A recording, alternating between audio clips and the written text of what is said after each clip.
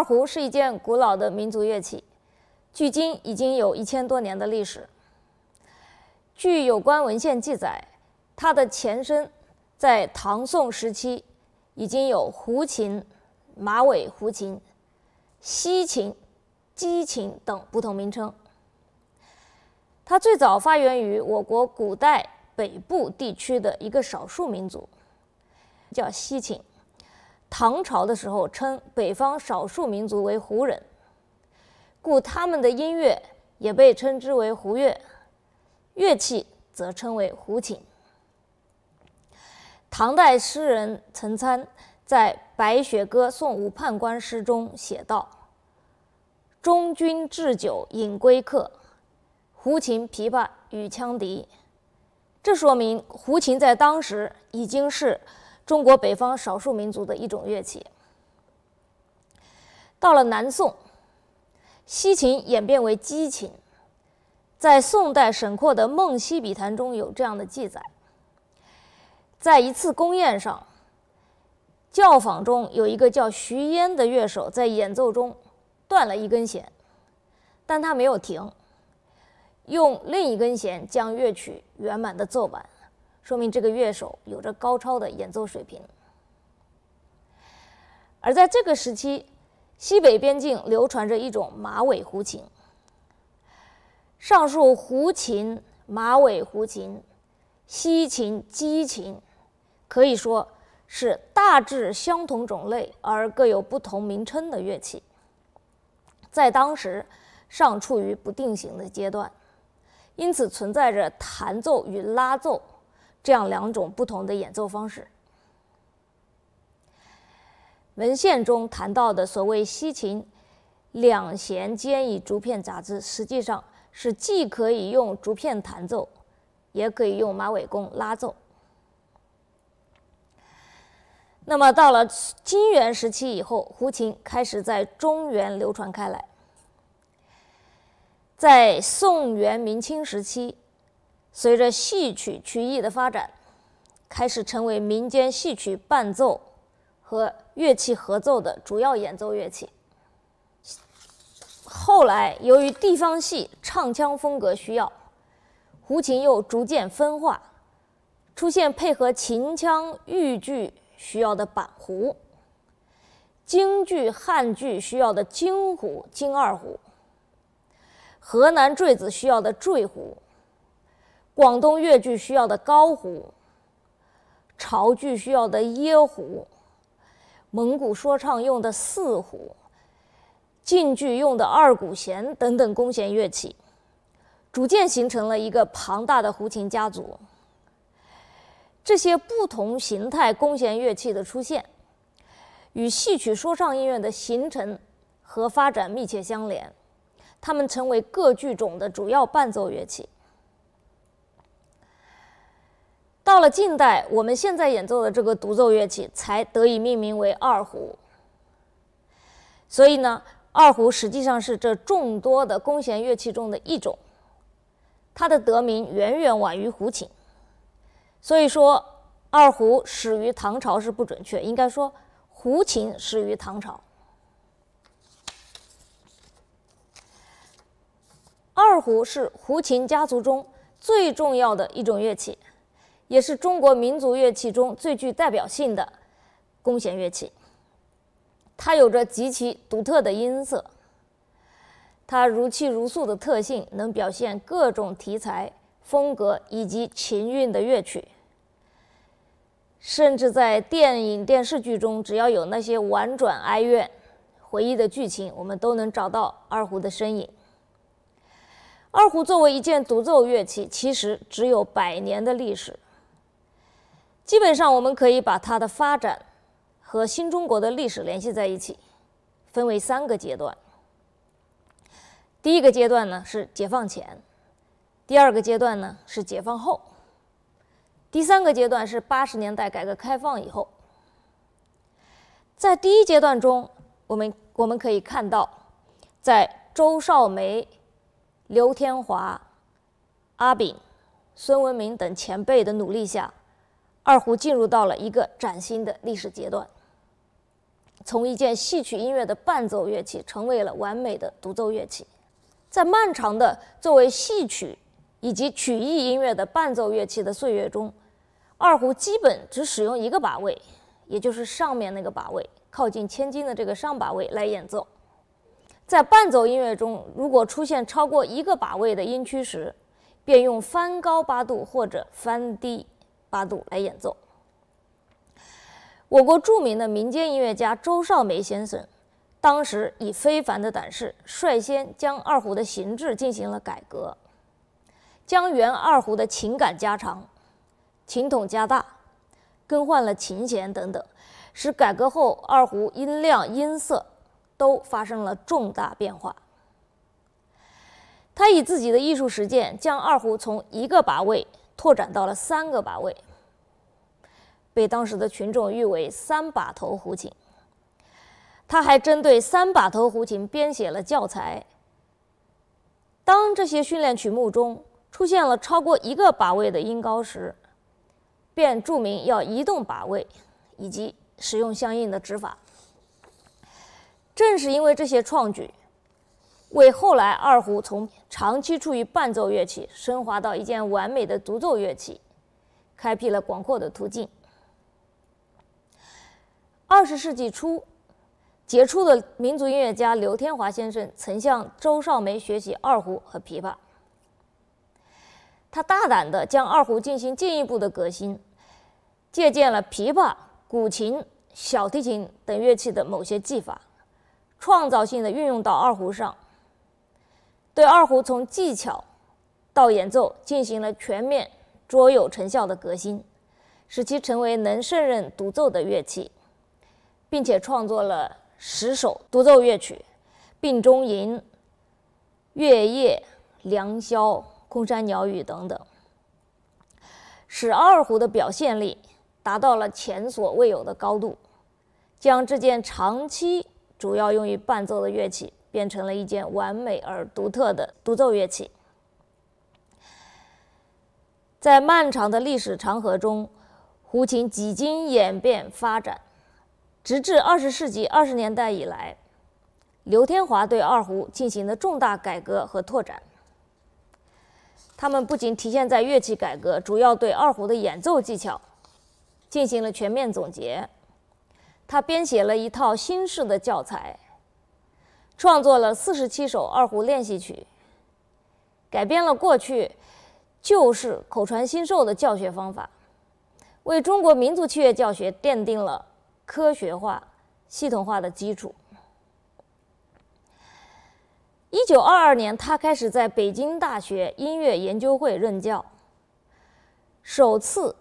将二胡列入高等艺术院校的正式课程，并且培养了一代优秀二胡传人。他谱写的十首二胡独奏曲，不仅丰富了二胡的表现力，也为二胡曲的创作提供了典范经验。正是这种种创举，促成了一个崭新的专业二胡学派。刘天华所处的时代正值中国五四新文化运动时期。一九一九年爆发的五四运动，深远地影响了中国社会的发展。一大批仁人志士和进步文人开始思考和探索中国文化艺术的发展之路。刘天华就是其中的一员。他立志改进国乐，实现国乐以期与世界音乐并驾齐驱的理想。他的十首二胡曲，深刻地反映了二十世纪初和二三十年代的中国社会现实，生动地表达了当时知识分子阶层中一部分人对现实不满而又怀抱光明理想的内心世界和生活情趣。其中有对黑暗现实的夙愿，有对光明前途的向往，有对大自然的热爱，有和亲朋欢聚时的愉悦，也有刻画充满矛盾的内心活动等不同内容。那么，除了刘天华以外，当时还有另一位堪称胡琴历史上的巨人——盲人音乐家阿炳，他的大名叫华彦钧。如果说刘天华所代表的是文人胡琴艺术的话，那么阿炳的艺术天地主要在道观和民间。他是无锡雷尊殿当家道士华清河的独生子，自幼随父学习多种民间乐器，有着深厚的民间音乐基础。他仅存一世的三首胡琴独奏曲，是他。独特的人生经历和精神感悟的反应。他创作的二泉映月可以说举世闻名。他的音乐内涵的社会冲突性、音乐语境的高洁性，都达到了那个时代的巅峰。而就作品风格而言，他们淳朴的民间特色、深厚的传统底蕴。以及极为简洁的概括力，同样都让人叹为观止，成为民间胡琴艺术的杰出代表。这样，刘天华与阿炳虽然都出生于苏南，呃，但他们 一先一后，一北一南，在相互隔绝的情况下，在不同的社会环境和生活状态下。为二胡艺术在现代乐坛上立足发展，各自做出了具有历史意义的贡献，成为了不可逾越的高峰。另外值得注意的是，一九二八年出生的与盲人阿炳齐名的民间盲艺人孙文明，他的二胡演奏艺术以及创作另辟蹊径，也十分精彩。他四岁时因为患有天花而双目失明，从十几岁就开始了流浪生活，以给人算命谋生。依照当地风俗，算命先生要随身携带二胡，边走边拉，用来招揽生意。因此，他开始学习二胡。由于他的非凡音乐天赋以及生计所迫，他创作了许多极有创意的二胡曲。代表作品有《刘波曲》《谭乐》等等。那么刚才说的是解放前的第一阶段，第二阶段是一九四九年新中国解放以后，二胡作为一件中国民族乐器中极富表现力的乐器，得到了迅速的普及。从此，二胡进入了一个快速发展的阶段。这个时期。演奏水平得到了很大的发展，各地成立了音乐学院，有了系统规范的培养二胡创作和演奏人才的体系，出现了一个创作上的繁荣阶段，涌现了大量优秀作品和教材。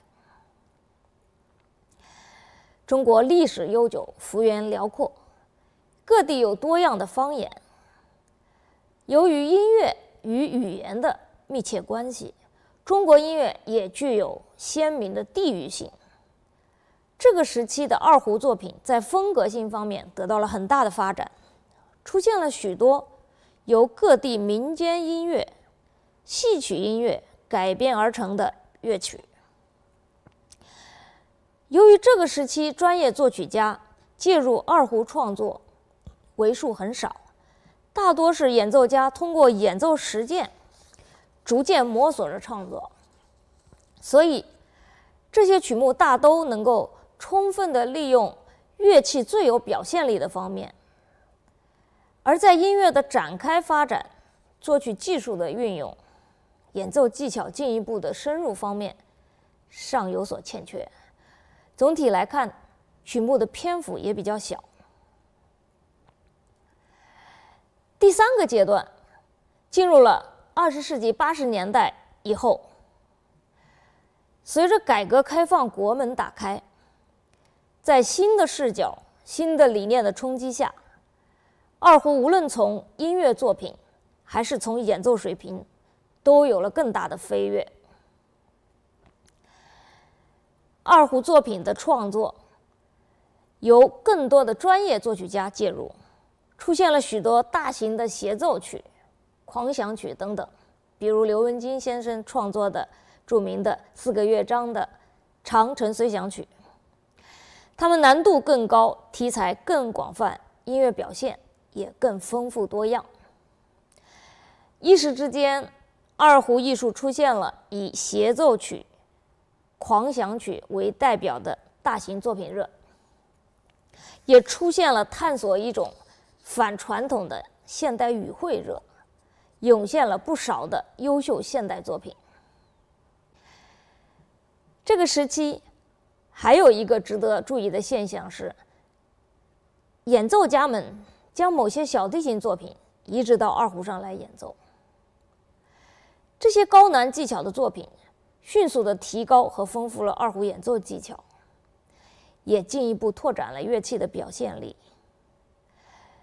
这些曲目的广泛传播，也为作曲家在创作大型二胡作品时，提供了更多演奏技术上的可能性。如今，随着频繁的国际文化交流，更有许多不同类型的中西乐器共同完成的作品。二胡以它独特的音色和歌唱性，已越来越成为被世界人民喜爱的一种乐器。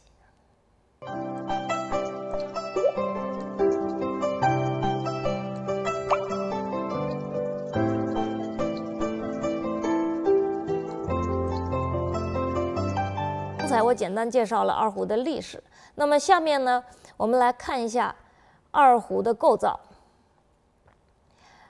二胡由琴筒、琴皮、琴杆、琴轴、琴弦、千斤、弓子、琴码、控制垫、琴托等组成。下面我们分别来看一下。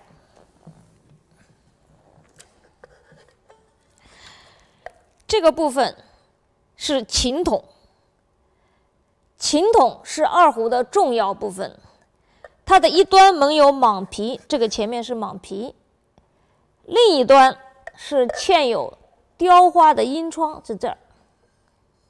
这个琴筒是二胡最重要的发声体，通过弓的这个推拉运动，摩擦琴弦，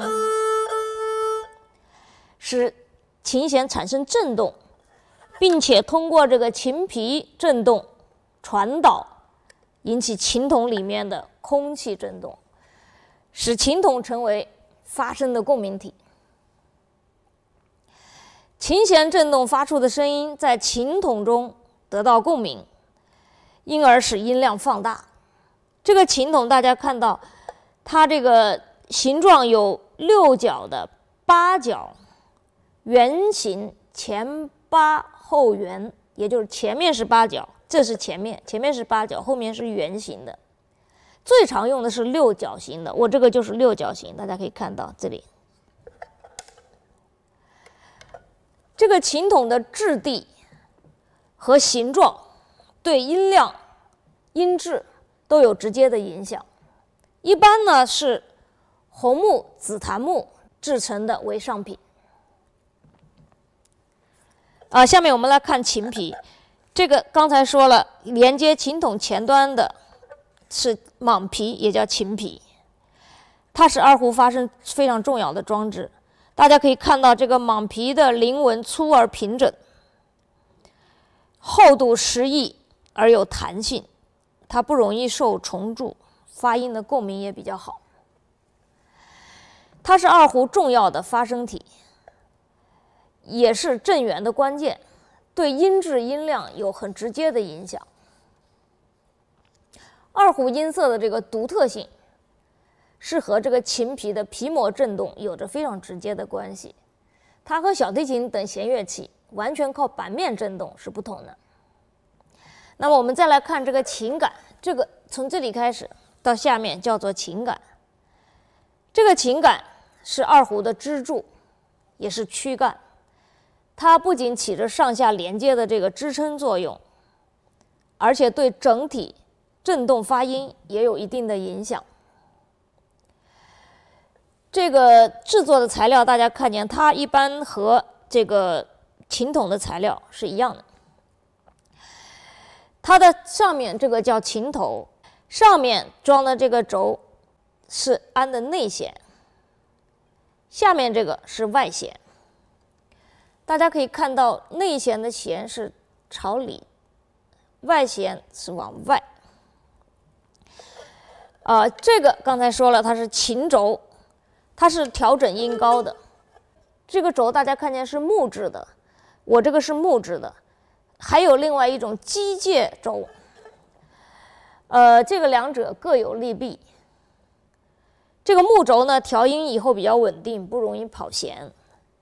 但是调弦比较困难，因为它比较紧，所以一般来说，在使用木轴的时候，我们都会配合这个微调来使用。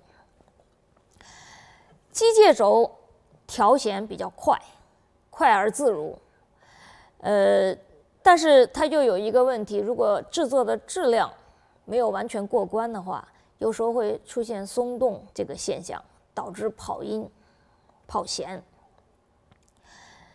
呃。张在这个两个琴轴上的这个是琴弦，琴弦是琴的发音体之一，也是二胡的声源体之一。它质量的优劣，直接影响到发音效果。这个琴弦也有两种，一种是金属弦，金属弦的拉力比较好，灵敏度也比较高。呃，另外一种是丝弦。它发出来的音色比钢弦的音色要柔和细腻，但容易断弦，而且呢，嗯，演奏的时候比较容易出现杂音，不太好控制。现在呢，我们一般都使用金属弦。二胡有两根弦，一根在里，一根在外，所以叫里外弦。常规二胡定弦是小字一组的 re，小字一组的 d 和 a 拉。那么这个是我们最常用的二胡，独奏里面最常用的，也是合奏里面最常用的。呃，但是独奏二胡呢，随着曲目的发展，还有一种长程琴。就是我刚才谈到刘文金先生写的《长城随想曲》，它是呃，它的弦和它的琴都和呃我们常用的高音琴略有不同，但基本上用肉眼看上去差不多。呃，它的长城琴的弦会略粗一点，定弦呢是哆嗦 C 和 G，也就是说比常规的二胡要低一个大耳度。另外还有一个是专门用来拉阿炳和孙文明以及某些特定的二胡独奏乐器的琴，称作二泉琴。因为是二泉音乐大家最有名、拉的最多，所以那个琴就被命名为二泉琴。那么这个二泉琴呢，比这个常规的琴筒会大的更多一点点，但是用肉眼看起来也是差不多的。但是琴弦。呃，会很不一样，因为它们的定弦差了很多。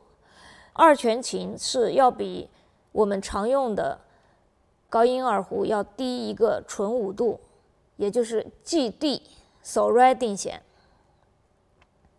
因此它的弦就必须要粗一些。呃，然后我们再来看这个琴弓，这个弓子大家看到，呃，我们通常就叫它弓子。它由弓杆，这个是弓杆，啊，这是竹杆，竹子做成的。弓杆和弓毛，这个弓毛以白色马尾为上品。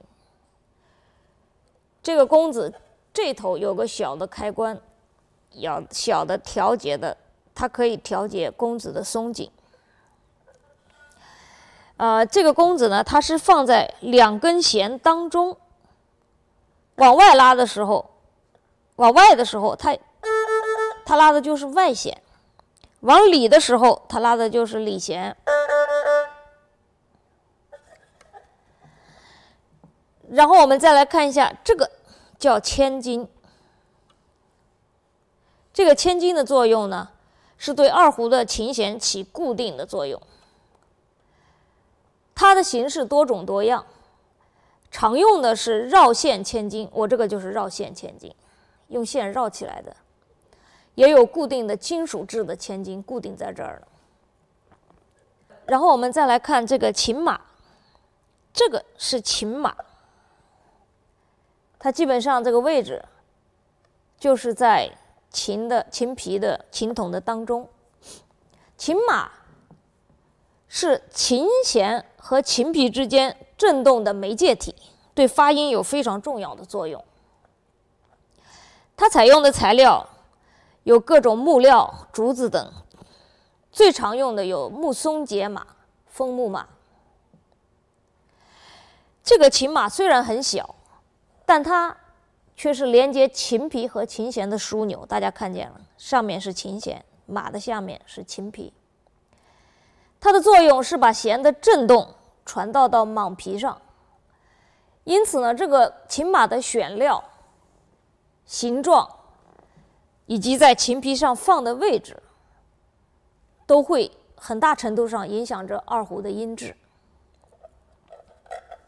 现在我们再来看下面这个底托、琴托，这个是起着装饰和稳定琴声的作用。嗯，有的琴托里面还会灌上铅，灌了铅以后它就会比较重，重的话呢，它放置在这里演奏起来就比较稳定。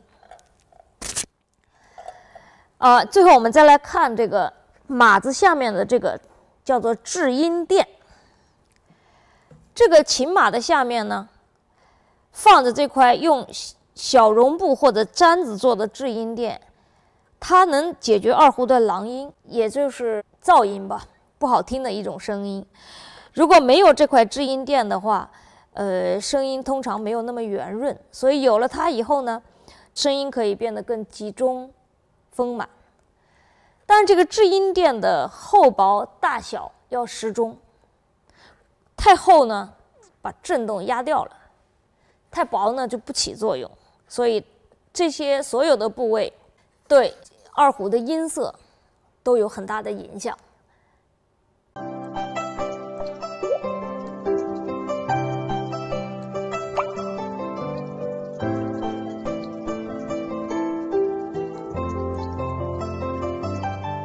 二胡是一件弦乐器，它和我们所熟知的大提琴、小提琴等西方弦乐器有什么不同呢？作为弦乐器，它们都极富歌唱性，这是它们的共同点。用不同的弦乐器来演奏，音色、音区不一样是显而易见的。当我们感受到的不同感觉，其实。更主要源于音乐语言的不同，审美的不同。为什么这么说呢？我们来体会一下：如果一首作品旋律、节奏完全相同，分别由大提琴和小提琴演奏，那么它们在音区、音高和音色上差别，大家很容易想象。如果分别用小提琴和二胡演奏，会有怎样的不同感觉呢？我们先来听一下小提琴的演奏。这是一首二胡独奏曲《草原新牧民》的散板段落，典型的蒙古族长调音乐。这首乐曲表现了蒙古族人民赞美大自然、热爱新生活的真挚情感。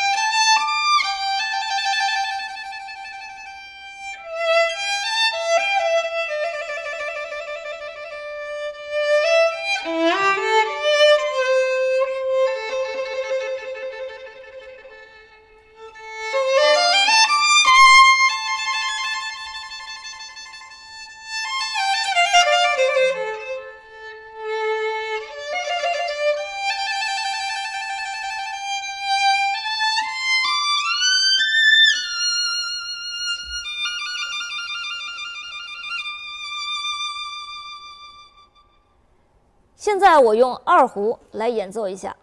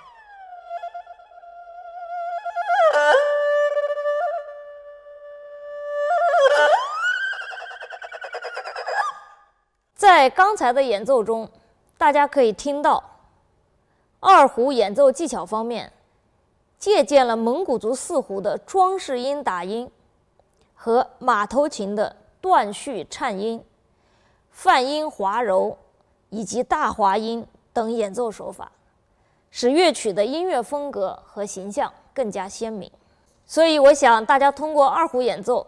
能够感受到，好像我们在用蒙古族人特有的方式，诉说着大草原的辽阔、宽广和对美好生活的赞叹。而显然，如果按照小提琴的演奏方式，却很难带给我们这样的感受。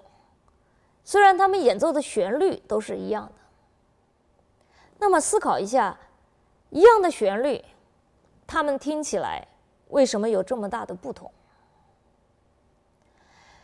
那就是因为旋律音加上了许多不同的润饰而产生的变化，这就如同一个姑娘穿戴打扮不同，看起来就变成了另外一个人是一样的道理。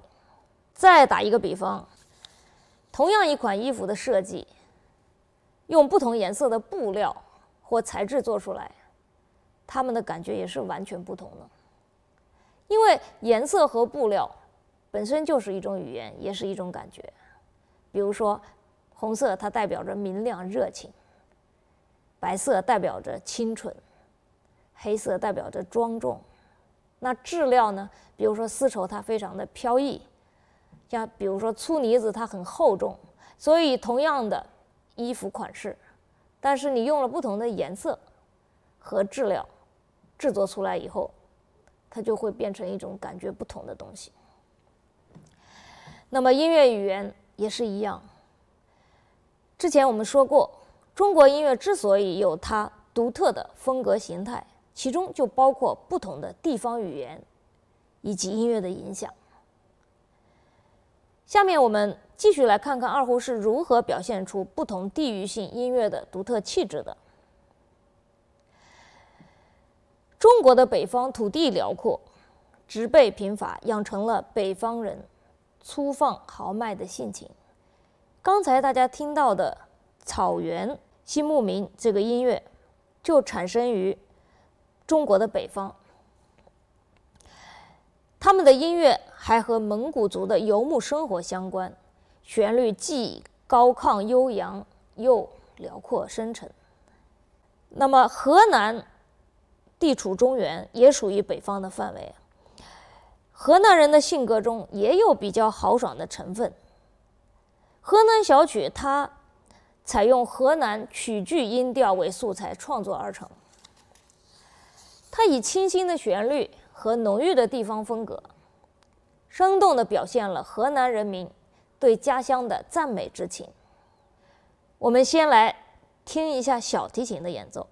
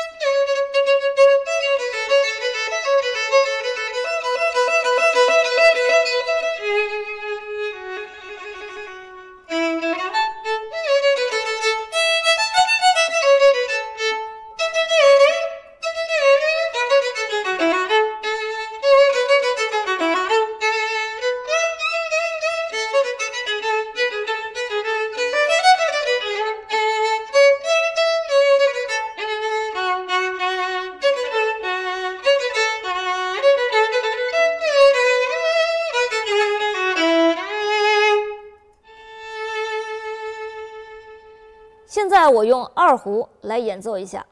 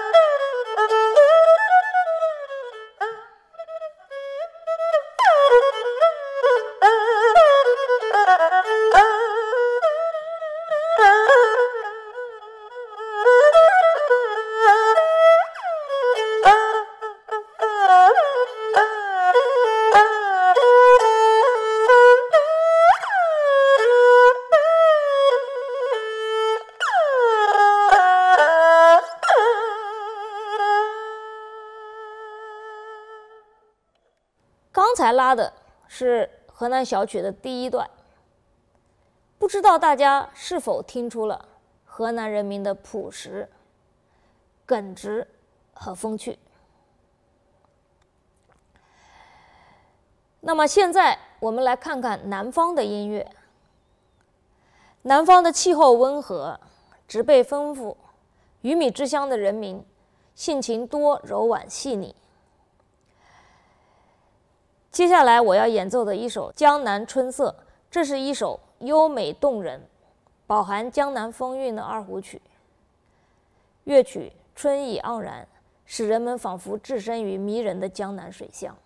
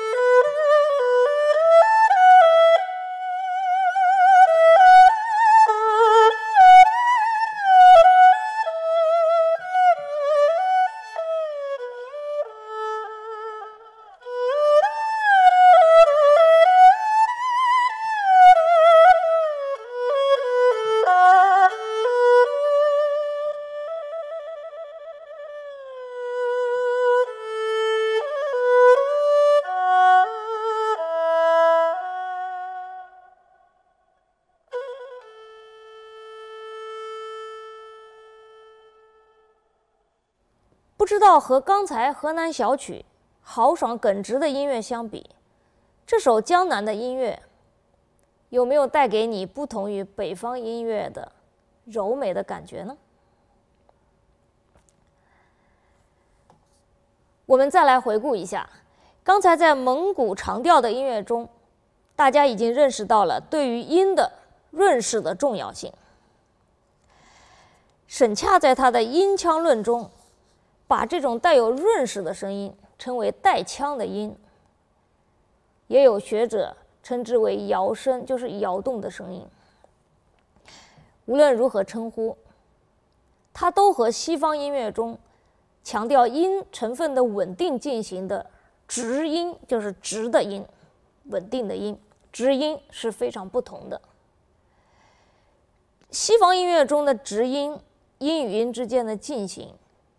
的感觉更多的是阶梯式的。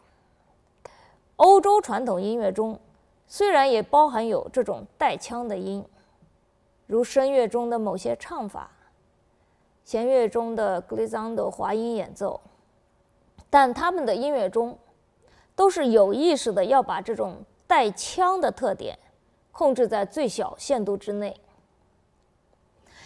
但是我们的情况则正好相反。我们是对这种带腔的音尽量充分开发和利用。这个相信大家刚才在蒙古族的长调音乐中，以及后面两首乐曲的演奏中已经感受到了。同时呢，我们也会利用直音和摇音的结合，来突出它的线条对比变化。追求这种带腔的音所能体现的美的意趣，比如刚才我演奏的《江南春色》第一个音，第一个音其实就是一个非常长的哆，但是我们通过装饰把这个音变成嘚儿，好，通过这个装打音、揉弦、滑音这些。方式的结合，装饰方式的结合，对单个音进行了充分的润润饰。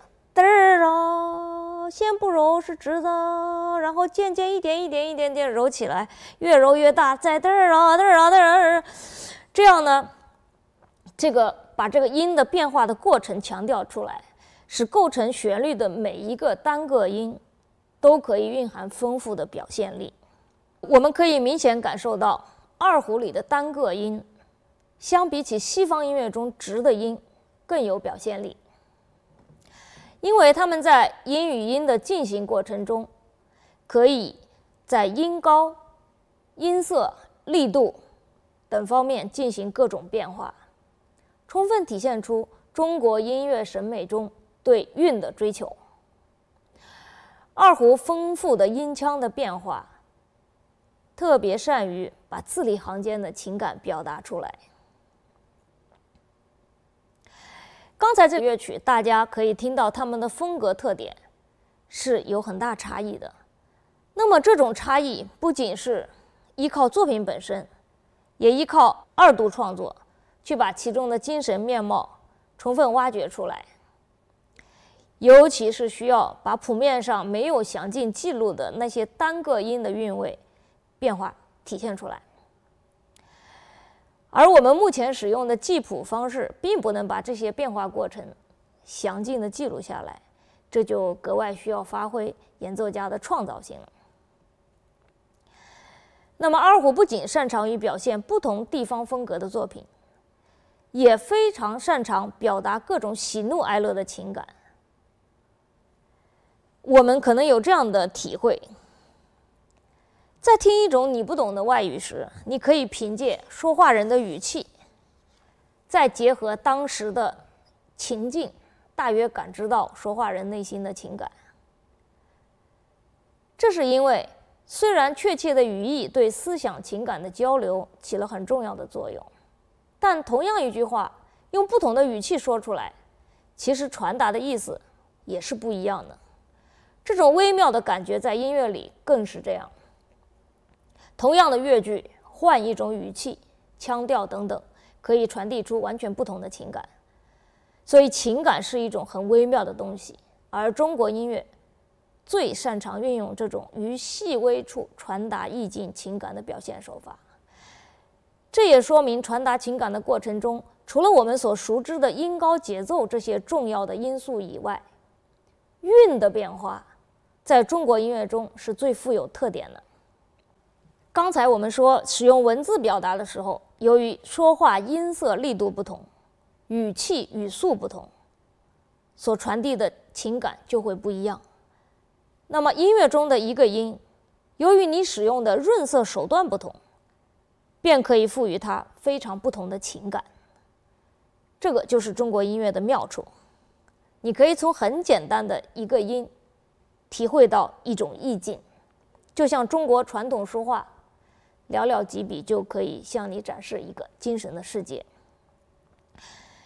这个和西方音乐是非常不同的，因为西方音乐的旋律进行是建立在纵向和声基础上的。一个音必须要稳定，才能有很好的和声效果。所以有和声的支持，虽然可以丰富旋律的表现力，但它也制约了旋律横向进行时丰富的韵味变化的可能性。二胡最大的特点是善于表现音乐中如泣如诉的情感，因为这种音乐通常比较慢，所以就更富于变化的表现空间。在这样的音乐中，二胡的声音仿佛可以具有一种造型的效果，瞬间有某种特定的音响把你拉到某种音乐意境中。这就好像你遇到了一个人，他的悲痛表情瞬间把你抓住，他已经并不需要再多说什么，这个时候语言反而是无力的。那著名的二胡独奏曲《江河水》。就叙述了这样一个动人的故事：在旧社会，有一对恩爱夫妻，丈夫被官府抓去服劳役，遭虐待惨死他乡。妻子闻讯后，悲痛欲绝，来到当年夫妻痛别的江河边遥祭亡夫。面对滔滔的江水，妻子嚎啕痛哭。下面我们来。听一下《江河水》。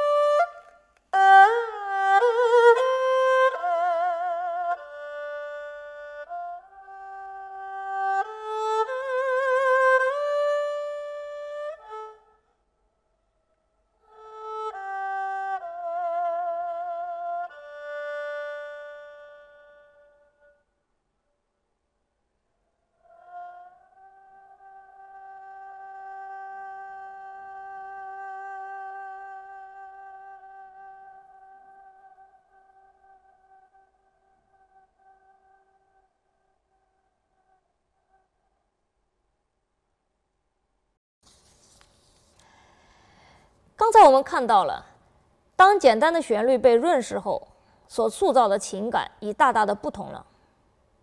它让我们深深感受到了“语言的尽头是音乐的开始”这句话的意义，也感受到了作为一门艺术的存在，它的独特性的价值。那么，在节奏方面，其实中国音乐也和西方音乐很不相同，它一样也因为多变而富于表现力。比如大家刚才听见的《江河水》。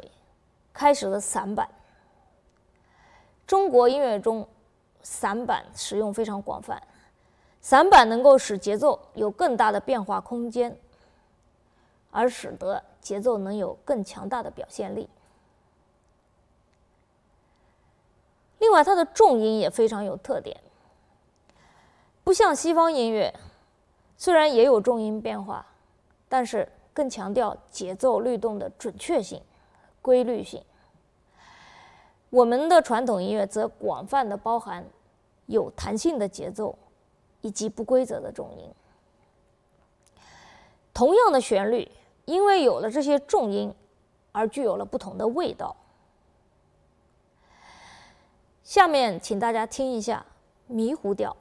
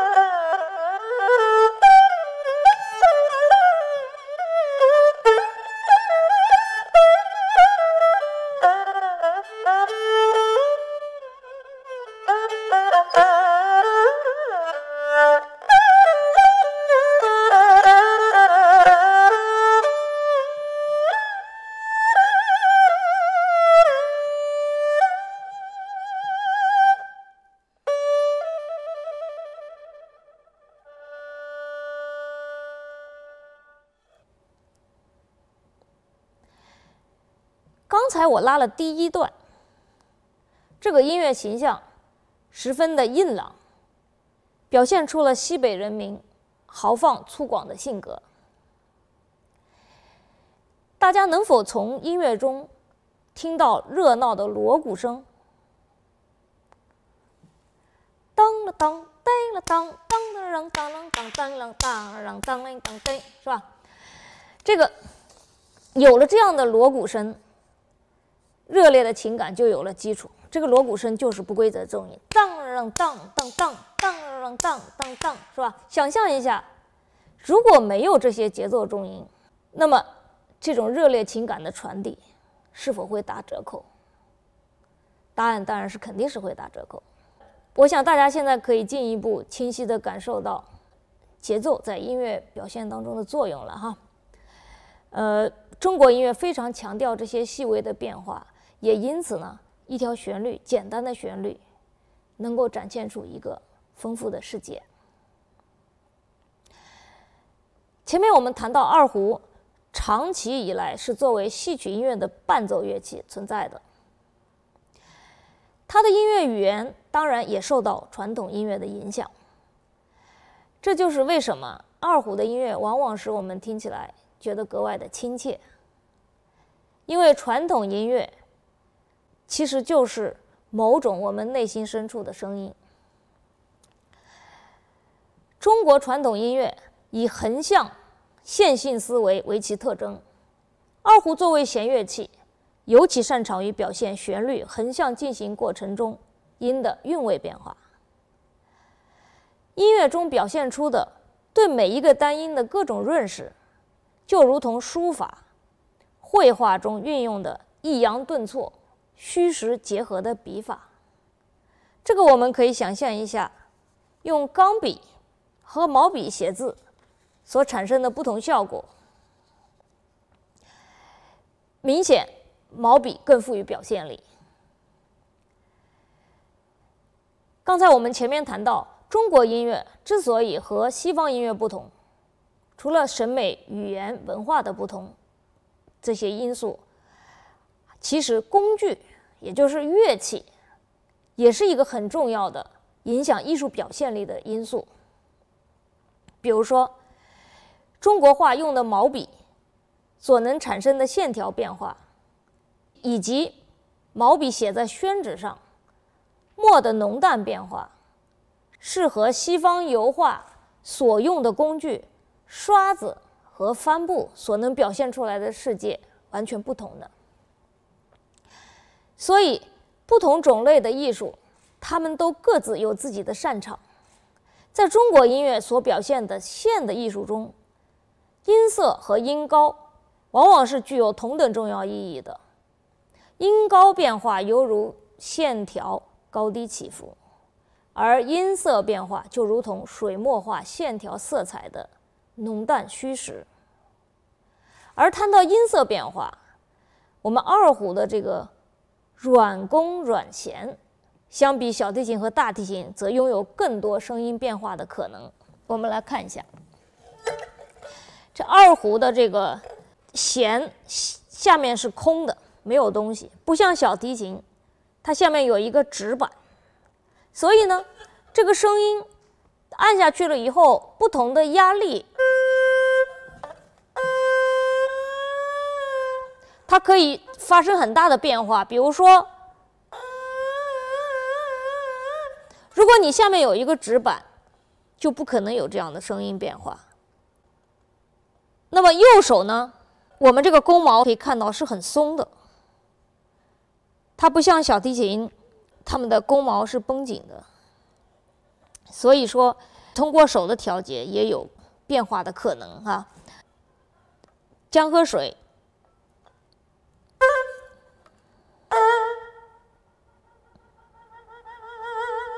大家看这个弓子，右手一个音头以后声音虚掉了，右手逐渐声音变实，左手呢？大家看见我用了这个压揉，啊，打比方说，我下面是压不下去的，这个声音听起来和很明显，它是表现力是不一样的。所以，正是这种独特的韵味，成为二胡音乐的魅力所在。因此，我们也可能注意到了一个情况。那就是我们中国音乐听起来经常和谱面看起来不太一样，因为中国音乐中很多细小的润饰手法，在现有的记谱方式中无法体现出来。可正是这些装扮，使它变成了不同的东西，也因此给演奏家们一个非常大的二度创作空间。他们可以将原本看起来简单的音，润色的更立体化。更富于色彩变化。二胡之所以能表达如此丰富的情感，离不开它丰富的左右手技法的支持。下面我们就来了解一下左右手常用的一些技法。首先，我们来看左手。二胡旋律的韵味变化，很大程度上依靠左手各种技法的使用。前面我们谈到二胡的软弦，啊，现在我们一起来看看。呃，这个软软弦所能产生的丰富的音色变化。我们先来说这个揉弦，它是左手最重要的技法之一。揉弦主要分为三个大类：滚揉、压揉、滑揉。那么滚揉呢，是从小提琴借鉴的一种技法，它主要通过指尖。在弦上面，这个指尖在弦上面出弦点的上下滚动而产生音波变化。大家听一下，由于指尖在弦上滚动了，所以音高发生波动。因为滚揉是依靠改变弦长来产生的音波，并不在弦上施加过多压力，所以声音松弛圆润。大家可以听到，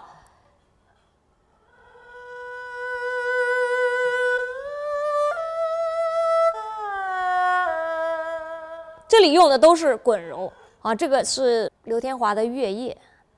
月夜呢，它是非常安静的，描写了一种皓月当空、风清月白这样一种情景哈。大家想象一下，如果我这个用压揉，压揉它是把弦压下去，它是通过改变弦的张力来产生的音波变化。所以，当你在弦上施加了很大压力的时候，声音就明显的会变得厚实起来。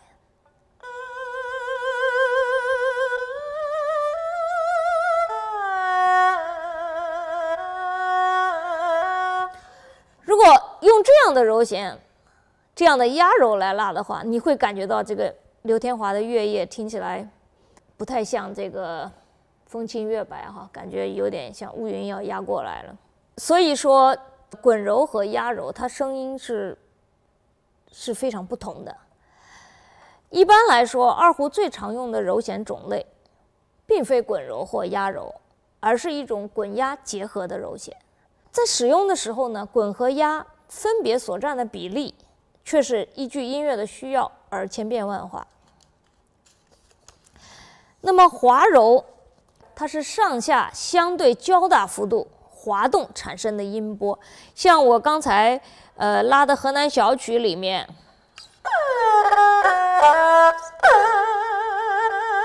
这个就属于滑揉啊。它除了在啊长音里面使用，像这个，这个就是长音。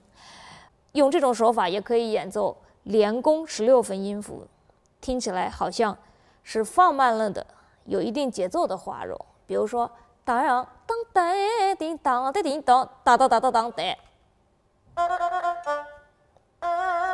是吧？它也是可以用这种方式来演奏。还有一个滑和压结合的揉弦，其中之一呢是移动把位的，把位移动。比如说一枝花的音色，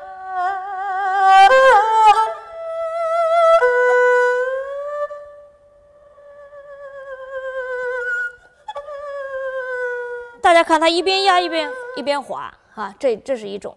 另一种是不移动把位的，而且它有一个专门的名称，叫做搂弦。这个是从秦腔板胡演奏中借鉴来的独具特色的指法。它一般都是四度。大家看见二胡的二指和四指之间是三度，它怎么演奏四度呢？压下去它就音就高了，所以它是又滑又压。揉弦呢，不仅种类丰富，使用起来更是多变。比如说，揉弦频率快慢的变化，揉弦幅度大小的变化，揉弦过程的变化，迟到揉弦的使用等等。那现在我们来看另外一种左手的技法——滑音。它是中国音乐中最有特色的部分，这和我们的语言有很密切的关系。我们语言中的每一个字，单个字一般都有四个声调，每一个声调呢也对应着不同的语义。比如说，妈、麻、马、骂，每个声调都有意义的。这四个声调，大家听起来是不是觉得本身就很像音乐？这四个声调里面，三个都是有滑音的。是吧？这是第一声，第二声，第三声，这是第四声。把这些带有滑音的音，加上一些不同的快慢节奏，大家想象一下，它是不是已经仿佛就是音乐了啊？所以难怪中国音乐中有那么多重要的表情和滑音有关。那我觉得二胡的这个词琴的知识还是非常自然舒适的。它跟小提琴比起来，它滑起来就很不方便哈。那我们因为很舒服。所以这个也有利于它把滑音的这个变化做到了极致。好，那么下面我们来看看它的分类。上滑音，我们以这个音为例，从低往上滑，这叫上滑音；从高往下滑，这叫下滑音。从它出发。又回到它，这叫回滑音。还有一种垫指滑音，垫指滑音呢，一般都是二二指和四指之间。为什么叫垫指滑音？三指垫在当中。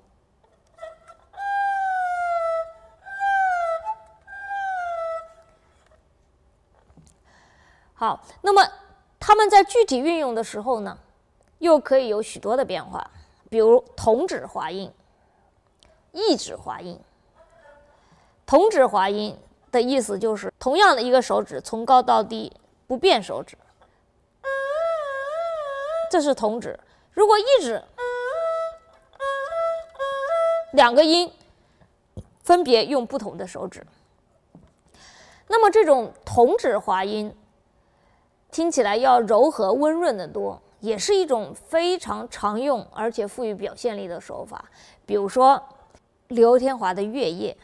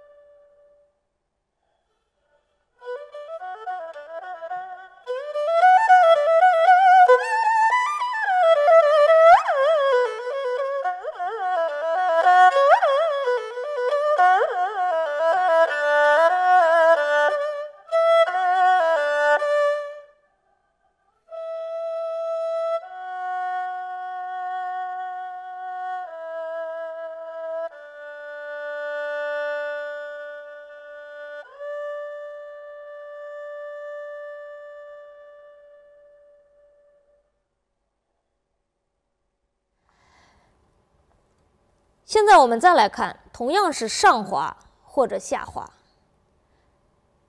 滑音的起始音既可以把头藏起来的，也可以是露头的。比如说病中吟的第一个音，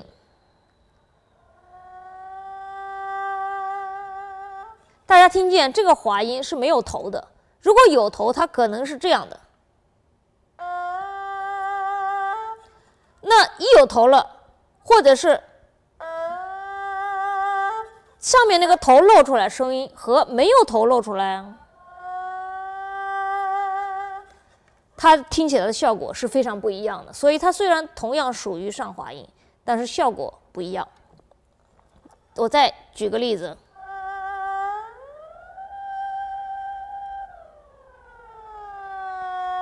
这个也是并重音里面的一个音，大家听见？它其实也没有音高，那个头也没有。如果有的话，是这样的效果。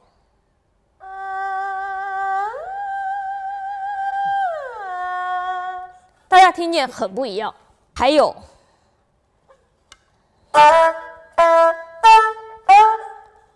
这是刚才我拉的河南小曲开头的四个音，大家听见这第四个音。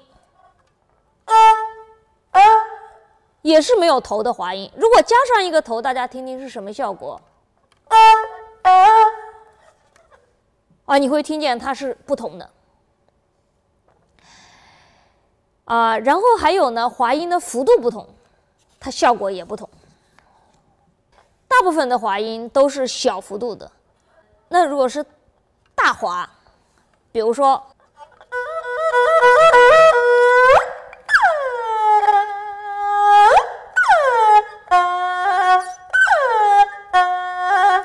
吧？还有草原西牧民刚才拉的也有大滑，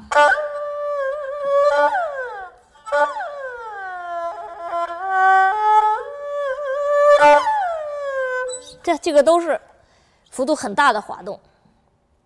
然后呢，这个滑音呢，又有在音的前面的，也有在音的后面的。如果是这个音，这个滑音用在音的尾部。那么这个滑音就叫做尾滑音，大家听一下啊。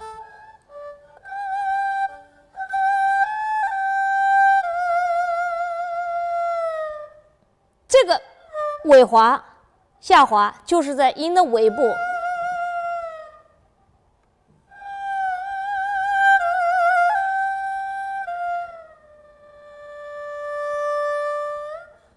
这个是尾滑，啊。那么说完了滑音呢，我们再来看看左手的打音、颤音的技法。那打音既有大小二度，也有小三度。啊，像刚才我们听见的草原新牧民的这个，这个就是小三度的打音。如果你把它换成大耳朵，它听起来就是很不一样。那中国音乐中这种大大小小、快快慢慢的打音，使用的是非常频繁的，尤其在风格性乐曲中。大家刚才在蒙古长调音乐中听到的是断续的颤音，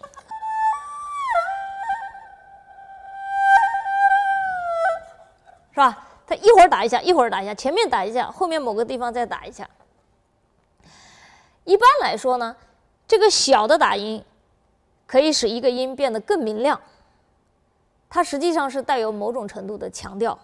比如说，刚才我们拉的河南小曲，谱子上是，大家听见？我现在在 re 上打了一下，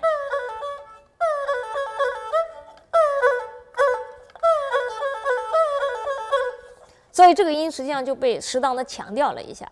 还有比如说，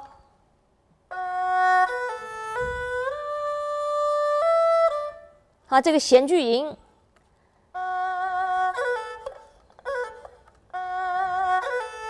大家听见这个小打音一打，这个声音就会变得更明亮。那么还有呢，和西方音乐一样的乙音，啊，这个乙音呢有前乙音。也有后乙音，前乙音呢是占这个音的前面的时值，本音的最开始的时值；后乙音呢是占本音的尾巴的时值。我们常常呢也把这个乙音和滑音结合起来使用，比如说，然后还有呢就是泛音。泛音刚才我在拉《江南春色》的时候，大家听见了。这些都是属于自然泛音，它本来就有的，只要你轻轻的虚按就有了。那还有一种人工泛音，人工泛音呢是要需要两个手指才能完成，也就是说，上面的一指按的是实音，然后用下面的四指按的是和它四度的关系，虚按，上面实按，下面虚按。也有五度的，呃，也是上面实按，下面虚按。然后我们再看了拨弦，啊，既可以这样拨空弦，也可以左手一个手指按实，下面一个手指拨弦。如果你要拨外弦的声音，那么你就要把弓子抵在内弦上。如果你要拨内弦，你就要把外弦弓子拨抵在外弦上，啊，当然拨弦可以用右手拨，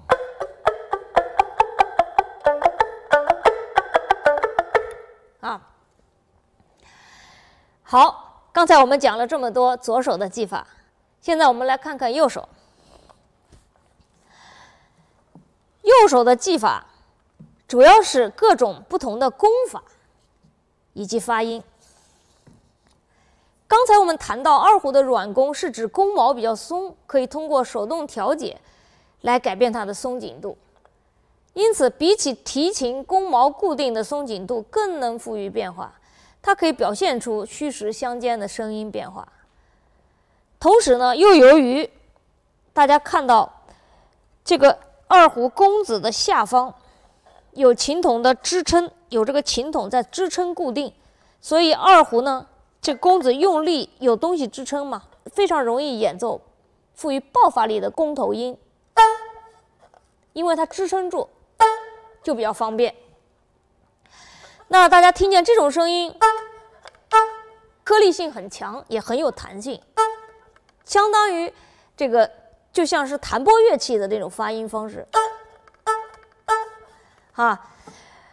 所以说，如果你再加上弦乐器特有的非常柔和的延绵不断的这种发音方式，以及弓子运行过程中弓速快慢变化和弓子压力大小变化结合带来的明暗动静对比，形成了很大的声音变化空间。那么，二胡最基本的弓法是连弓和分弓。连弓就是把若干音连成。连成一弓演奏，啊，那分弓呢，就是分开一弓一个音。那如果速度快了呢，这种弓子就叫做快弓。那它还有一些特殊的弓法，比如说颤弓，在弓间非常快速的抖动，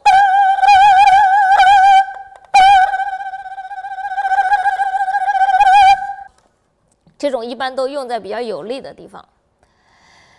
呃，还有顿弓，比如说，是吧？还有刚才江河水里拉的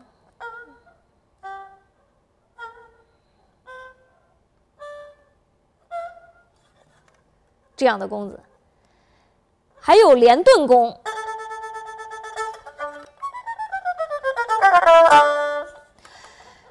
有抛弓。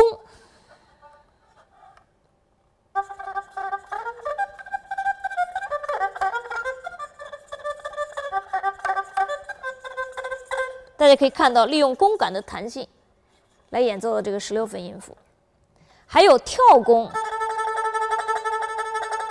利用弹跳点来演奏的快弓，还有呢，模仿马蹄。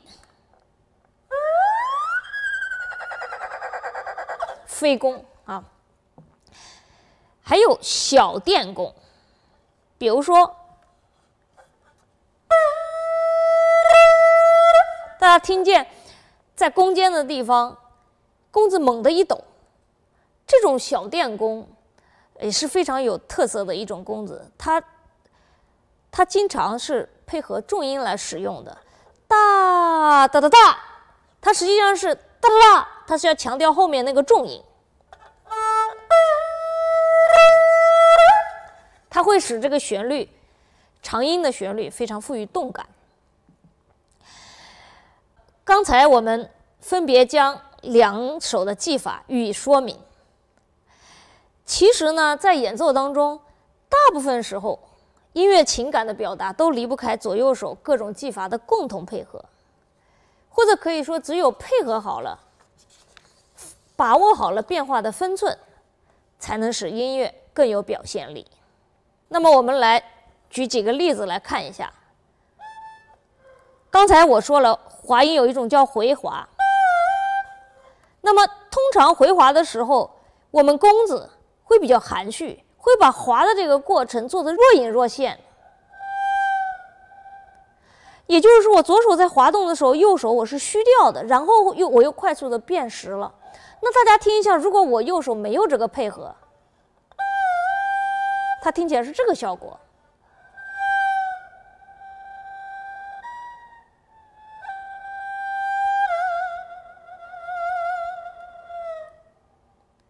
大家，这个是《兰花花》的叙事曲的一个慢板，是非常悲痛的音乐。大家听见前面几乎每一个音，我都用了虚实相间的弓子。再看一下，虚掉了，又虚掉了。前面用了像弹拨乐一样的弓头，压揉，虚掉了。这个这个过程，我把它强调出来了，再结合弓子突然停掉，所以这个音就有点像抽气的感觉。你看，这又是一个若隐若现的回滑。如果是它的效果就非常不一样。如果它是没有，它听起来也很直，很直白。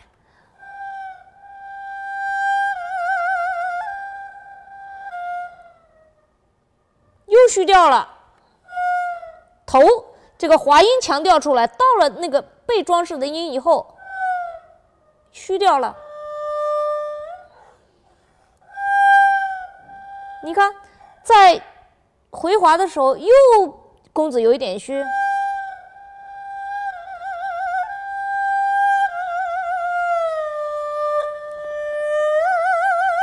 这个音就强调出来。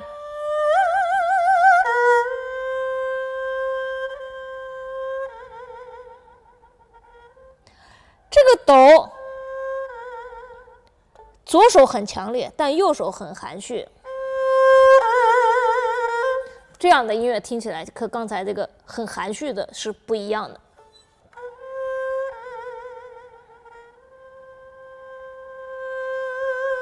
所以大家可以体会到，你两只手的分寸不一样，你拉出来音乐是非常不一样的。那么这种虚的声音，江河水也是这样，开始。非常强烈的弓头音，但是完了弓头完了以后呢，弱到几乎要虚掉了，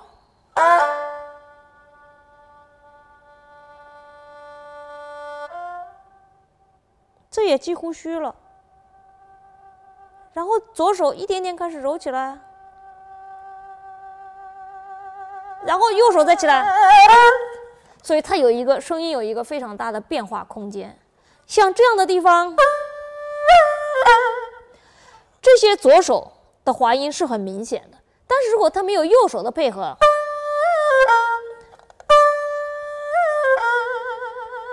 它就会差很多。大家看，我在左手滑的时候，同指滑音的时候，右手强调了一下。当然，右手的弓头本身也是强调的。如果我没有没有右手的强调，这个声音的效果、戏剧性也同样。会大打折扣。我们再来看一看这个草原新牧民的这个啊，断续的颤音。你看，我用弓子把这个打音强调出来了。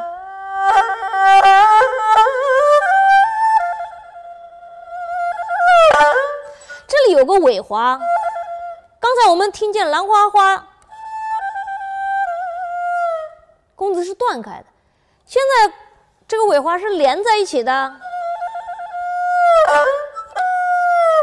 如果没有这个尾花，你看听起来味道就差很多。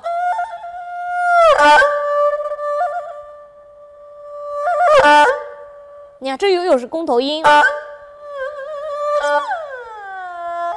这个也是大华，也是有右手的这个弓头音的配合。如果没有这个弓头音的配合，你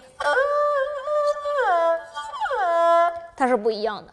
那这样类似的大华音，刚才我们在河南小曲里面也听到。